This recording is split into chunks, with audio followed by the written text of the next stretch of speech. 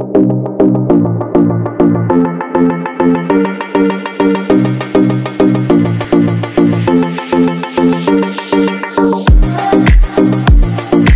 amati ka to. Ano ang huling sinabi ni Rizal bago siya binaril? Ayaw ko. Bata pagkukul.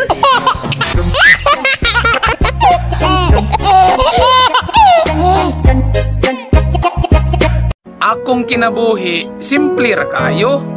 Pwede ka masuya, ayaw lang panira. Kasabot ka?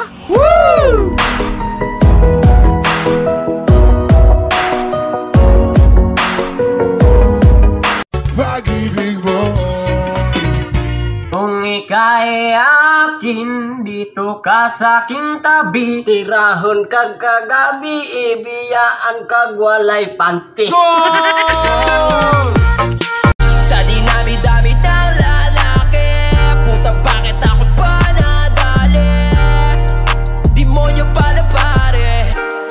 Mga magagandang babae Sabi niya walang iba Totoo iba-iba Wa ko mangandoy nga makatilaw ko nimo.